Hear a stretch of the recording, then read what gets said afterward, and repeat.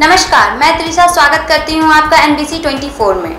आर्यन खान को एनसीबी के ऑफ़िस मिलने पहुँची शाहरुख खान की मैनेजर पूजा ददलानी।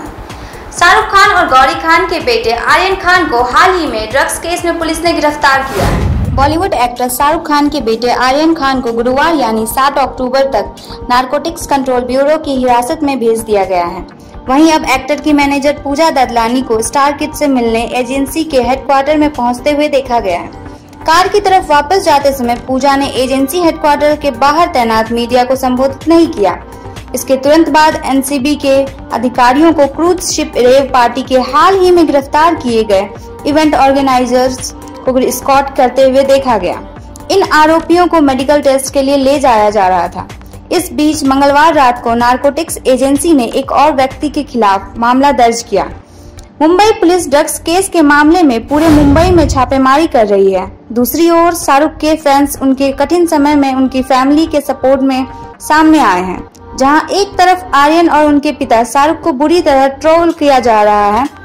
वहीं दूसरी तरफ़ कई फैंस और सेलेब्स ऐसे भी हैं जो किंग खान के बचाव में आगे आए हैं। वहीं सिंगर मिका सिंह ने एनसीबी की चुटकी लेते हुए शाहरुख को, आर्यन के, को अपने सपोर्ट दिया है। मीका सिंह ने आर्यन को गिरफ्तारी के बाद अपने सोशल मीडिया अकाउंट में कार्डियला द इम्प्रेस क्रूज की एक तस्वीर शेयर की। इसके साथ सिंगर ने लिखा, वाह कार्डियला क्रूज कितनी खूबसूरत है। काश मैं भी यहाँ जा सकता। मैंने यहाँ, सुना है वहाँ बहुत से लोग थे, लेकिन मुझे आर्यन खान के अलावा यहाँ कोई नज़र नहीं आया। इतने बड़े क्रूज में सिर्फ़ आर्यन ही घूम रहा था क्या? हद है। वहीं सोशल मीडिया पर हैशटैग ट्रेंड करने के बाद शाहरुख के कुछ और फैंस उनके बंगले मन्नत के बाहर देखे गए। लोग वहाँ we stand with Aryan Khan लिखे हुए बैनर लिए खड़े हैं। सोशल मीडिया में भी यह खूब ट्रेंड कर रहा है। मन्नत के बाहर लगी एक होर्डिंग पर लिखा था, इस दुनिया के बाहर कोने में बसे आपके फैंस आपके बेहद और बिना किसी शर्त के प्यार करते हैं। इस मुश्किल वक्त में हम आपके साथ हैं। किंग ख्याल रखना। मीका सिंह से पहले भी कई फैंस ने एनसीबी पर आर्यन खान को टारगेट करने का आरोप लगाया है। इन आरोपों पर एनसीबी के डायरेक्टर समीर वानखेड़े ने टाइम्स ऑफ़ इंडिया से कहा, हम किसी को टारगेट नहीं कर रहे हैं। हमारे पास उसके खिलाफ कुछ नहीं है। हमने पिछले कई दिनों में 300 से ज़्यादा लोगों को गिरफ़्तार किया है, जिनमें महज पाँच से छह बड़े नाम हैं। लेकिन मीडिया द्वारा सिर्फ़ आर्यन को हाईलाइट किया जा रहा है। मीडिया तभी दिलचस्पी लेती है जब केस में कोई बड़ा नाम शामिल हो।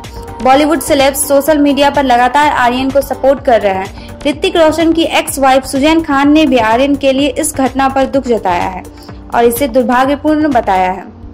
वहीं हंसल मेहता ने भी इसे अनफेयर कहा है। कई अन्य स्टार्स और नेता सोशल मीडिया पर शाहरुख खान को सपोर्ट करते नज़र आ रहे हैं। रिपोर्टर्स के अनुसार शाहरुख से उनके घर पर मिलने के लिए लगातार कोई न कोई सेलेब्स पहुँच ही रहा है। गौरी की करीबी दोस्त महीप कपूर, नीलम कोठारी और सीमा खान भी सोमवार को उनसे मिलने के लिए उनके घर पहुँची थी। सात अक्टूबर को आर्यन खान को क्रूज शिप ट्रक छापेमारी में उनकी अगली जमानत पर सुनवाई के लिए अदालत ले जाया जाएगा। जैसा कि आप देख रहे हैं, मीका सिंह के साथ साथ पूजा भट्ट और हंसल मेहता जैसे कई बड़े सेलेब्स शाहरुख खान के सपोर्ट में हैं। इसी तरह की बड़ी खबरों के लिए देखते रहे एनबीसी 24